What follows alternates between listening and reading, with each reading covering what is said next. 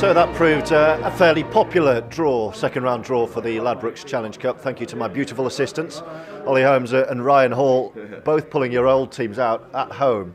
Your old boys, Normanton. Um, I know that'll be quite a popular tie for them, and you'll be going to watch it. Yeah, it will be. Yeah, uh, good that it's uh, another home draw for us, and uh, you know they played Shaw Cross a couple of years ago in uh, in for the promotion spot in league, so it'll be a tasty match if they end up with them. And you got quite a big cheer for, for what you provided in the second round for your old boys here at Oulton. Uh, yeah, it certainly uh, proved uh, very popular. Uh, like like Ollie himself. I'll going uh, down to watch that fixture. Um, yeah, hopefully they'll get through to the next round. That's the main thing. Uh, they've got a home draw, which is favourable, you know, for the accountants who uh, work here. So um, it'll be uh, good to see that tie. We are, of course, still a million miles away from Wembley, but what is it about this competition and this famous trophy that, that so inspires so many players to want to, to reach the Holy Grail? I think it's just the fact that there's that much history involved involved in the cup. You know, it's it's been going for over 100 years, and you know it's it's a knockout cup, which is always one that's that proves harder to win. So you know you've got to be on, on form on the day, maybe four or five times, and, and it's yours. But it's easier said than done. Was this something you always dreamed of winning, Ryan? It's you have finally won it. It took a while, but was that always a, one of the, the career dreams for you?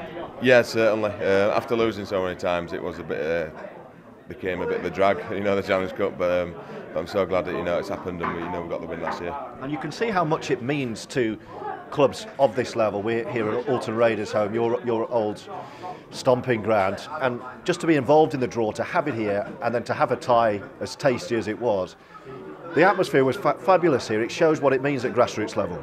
Yeah, it certainly does. It's what um, it's where the magic starts. It's you know, it's the magical competition. It's like Ollie says, it's got a lot of history, and uh, Oulton are part of that. You know, even if the name's on the trophy or not, it's you know they started it and they get the ball going.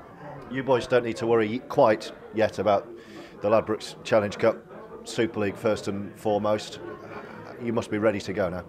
Yeah, pretty sick of pre-season now. Uh, you know, it, it takes its toll on you, but it, it gets you ready for what you need to be. And uh, rolling into that first game, a bit of nerves about it, but you know, I'm pretty excited.